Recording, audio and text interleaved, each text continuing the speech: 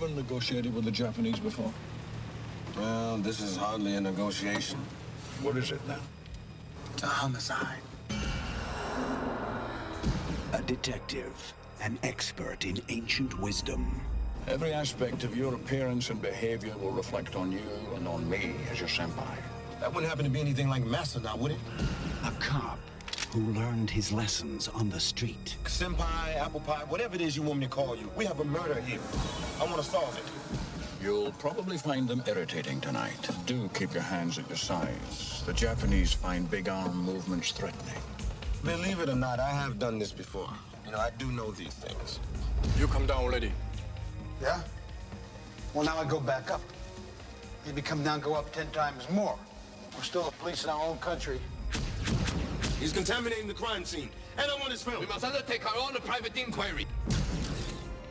I'd like to see tonight's disc for the 46th floor. There! One knows where to look.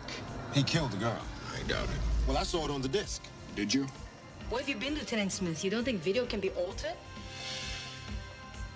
I'll be damned. The other knows what to see. You know what's true? When something looks too good to be true, then it's not true. It's a partnership that's not supposed to work.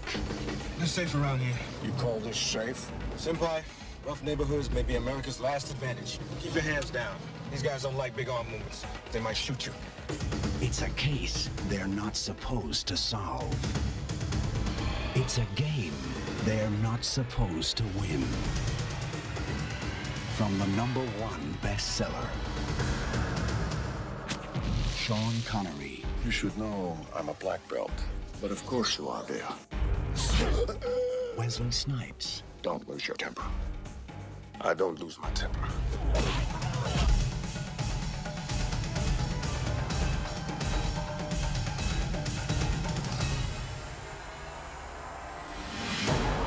Rising Sun.